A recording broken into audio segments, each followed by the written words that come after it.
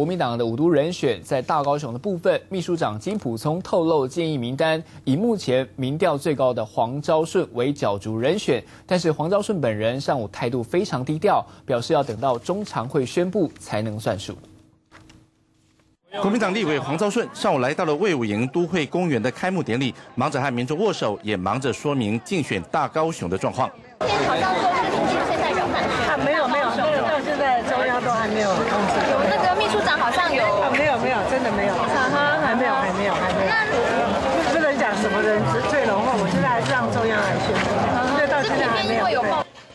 黄昭顺和立委李复兴比邻而坐，民调目前是以第一的姿态出现，各种活动早就鸭子划水，跑得很勤。但是要确认不是秘书长金普聪说了算，黄昭顺还要等中常会来宣布。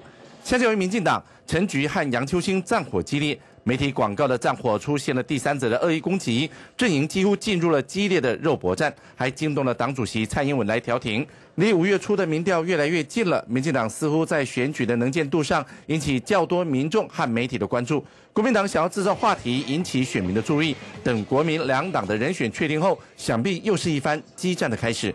民事新闻南部综合报道。